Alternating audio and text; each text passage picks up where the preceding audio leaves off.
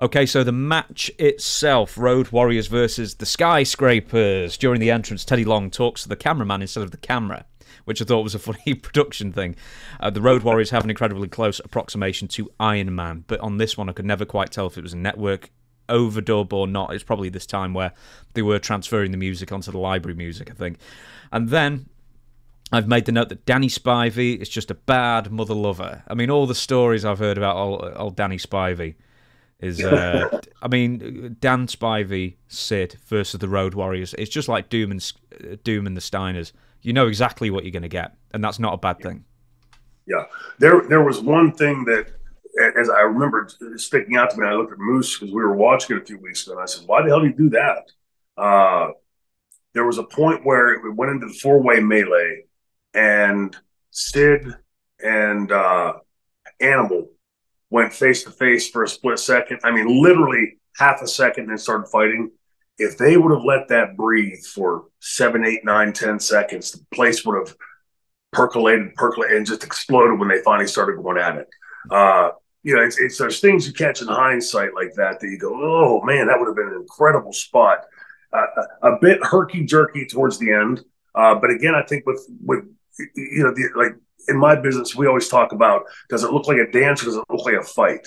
And no fight that I've ever watched in my life, you know, street fight, real fight, uh, ever looked like a dance, right? It was knocked down, drag out, dirty, discombobulated, uh, and, and gnarly. And, and this had that feel at the end, a little bit sloppy for the wrestling side of things.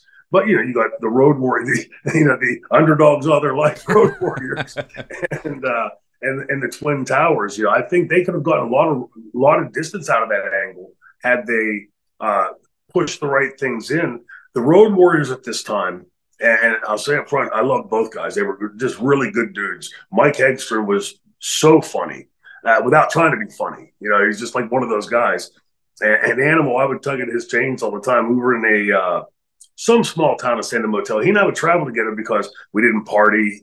I like going to the gym with him and that kind of thing. You know, and you travel with people that are similar to you. and this one day I just kept needling him, needling him, needling him, right? And we finally get back to the hotel. And I needle he's putting me, he spins around and throws me on the hood of the car. Goes, you skinny motherfucker, you better shut the fuck. It goes off. And then he goes into the bathroom. And I know exactly what he's doing. He's embarrassed at himself, right? So he comes out and I'm sitting on the end of the bed and I went, I'm sorry, Joe. I didn't mean to get under your skin like that. He goes, Oh, I'm so sorry. He's like, I got you again.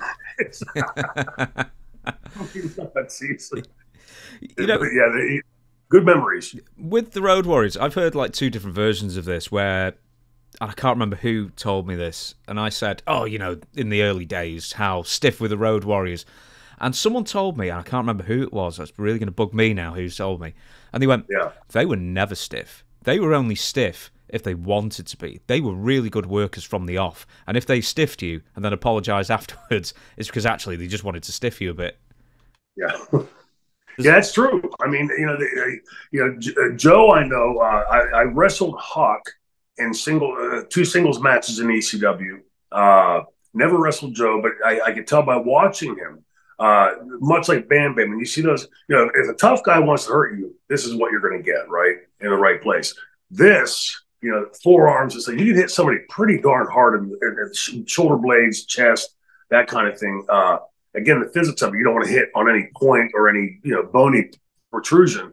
Uh, but they would lay their stuff in, but not so it's what we would call snug in, in, wrestling. And and they both would tell you if they were both standing here right now, they would say Paul Ellering.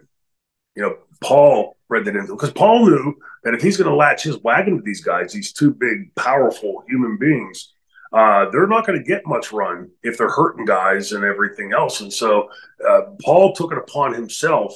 You know, in, in wrestling, you know, with, often think of wrestling managers as being just part of the act, right? They're just out there as part of the, the gimmick. Paul, uh, Paul Ellering was really their manager. He would negotiate their contracts uh, and would take them, you know, in those early years and, and tell them like, you can't do this. They won't. Nobody will hire you. And uh, so, yeah, credit that back to Paul Ellering and, uh, and, and again, I know Mike and, and Joe would both tell you that if they were standing here right now because they told it to me several times.